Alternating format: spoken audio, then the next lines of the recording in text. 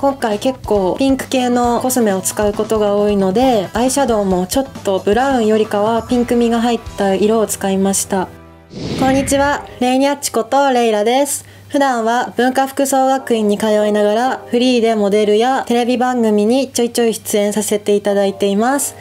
今日はそんな私の普段のデイリーメイクを紹介します。それではどうぞ。今回使ったカラーコンタクトは韓国の通販サイトのクイーンレンズというところのカラーコンタクトで直径が 15mm で大きめのブルーのカラーコンタクトを使用しました。デイリーメイクではいつもうちはアンドロイドとか人間離れしたような顔を作りたいと思っているのでブルーの青コンはマストアイテムです。ベースはセザンヌのベースを使っているんですけどこれはすごい少量で伸びが良くてしかもさらっとしているので本当に薄付きでしかも崩れない下地なので愛用しています。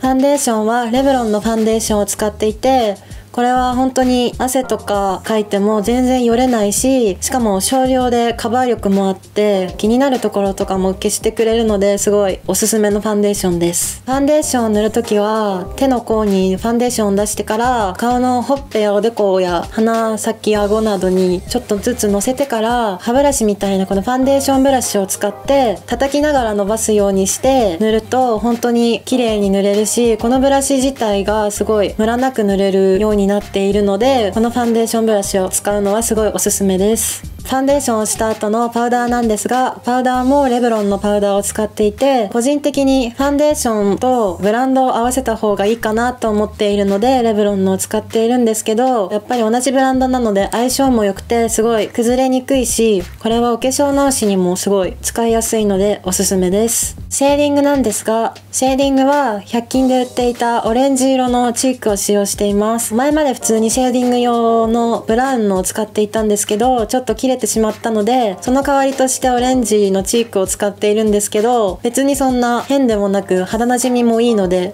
ずっと使っています。塗り方なんですけど塗り方は頬骨やこうエラに対して斜めに筆をこう入れてシャープに見えるように塗っていて削りたいところはがっつり塗るようにしています。ハイライトは穴水のハイライトを使っていて入れる場所は目の下と T ゾーンとあと唇の上と顎先あと目の横の C ゾーンにも入れているんですけどここに入れるとすごい目元がくすみが飛んで華やかに見える気がするので入れています。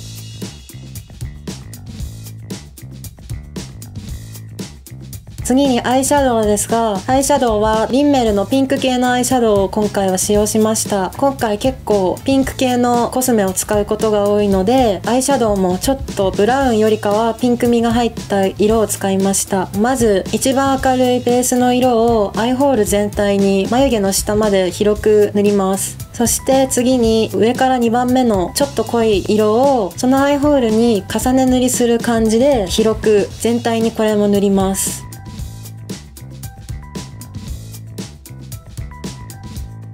そしたら次にこれが結構重要なんですけどその次のブラウンを細い筆に取って二重の線の上にダブルラインを描く感じで目尻と目頭は本当に鼻の付け根くらいまでオーバーめにダブルラインを引くのが結構ポイントです。次に下まぶたなんですけどシュウ上村のピンクのアイシャドウを使って涙袋の線を普通は多分ペンシルとかブラウン系で描くんですけどそれをがっつりピンクで今回は引いて涙袋の影を作りました。この影は結構本当にがっつりやっても後からちょうど良くなっていくので濃いくらいがっつり幅も広めで塗っても大丈夫です。涙袋の影を引いたら次はさっきのリンメルのピンクブラウン系のアイシャドウの一番明るい多分ラメとかハイライト用の色を使って涙袋に色をのせていくんですけど塗り広げるというよりはちょっと置く感じで涙袋ギリギリのところに置く感じで塗ると結構ちゃんとラメが発色してくれるのでこの塗り方をしています。次にアイライナーなんですけどアイライナーはネイビーのペンシルで目尻だけを先に落ちちにくいように描くんですけど今回は結構目尻の距離を長めに引くのがポイントで結構がっつりやっても後から馴染むので自然にあんまり垂れさせないように横に引くようにしています。そしたら次に黒のリキッドアイライナーで普通にアイラインを引いていくんですけどまず目頭から目尻までを一気にさっきペンシルで引いたところまで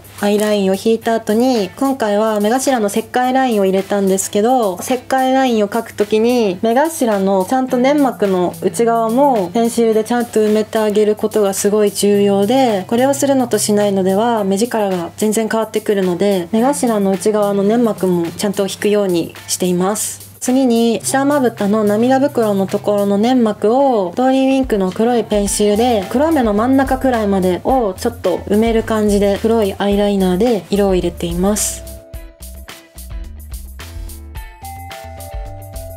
で下まつげなんですけど下まつげは白のマスカラを使って長さ出しとかではなく色をつけることをメインにがっつり白をしているって分かるように何度も重ね塗りをして白いマスカラをしています。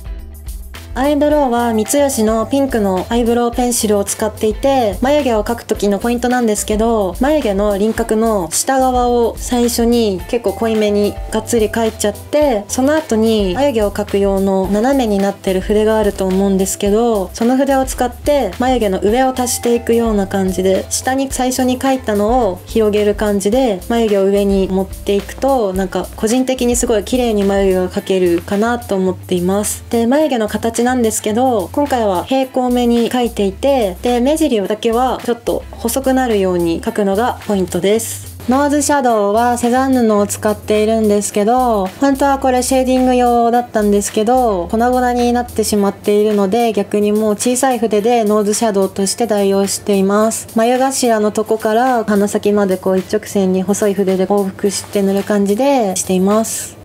リップは最初に MAC のピンクを唇の内側だけに塗るようにしていてその上から紫のちょっとラメが入った色のリップを唇の色をつけなかった外側を塗るようにしていてグラデーションリップみたいなのを意識して塗るようにしていてちょっと内側だけピンクで外側がちょっとラメが入った紫っていうグラデーションができるように塗っています。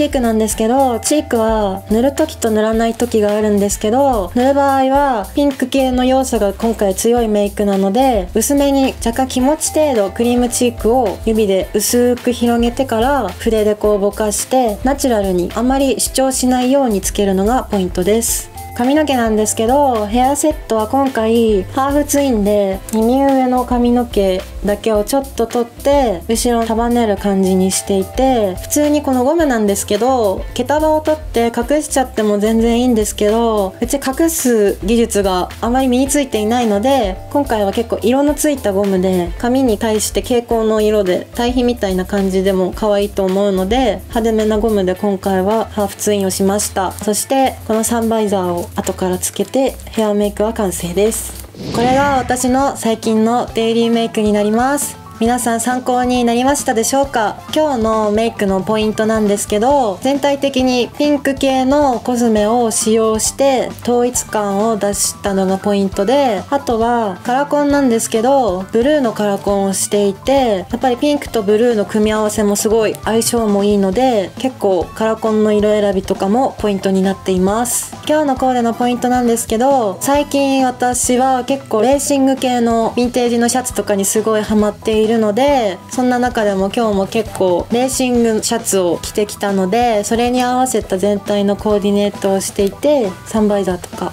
そういう小物でも統一感を出しました。かわいいパティーンさんで私の他のメイク動画も紹介しているのでよかったらぜひ見てみてください。それではバイバーイ。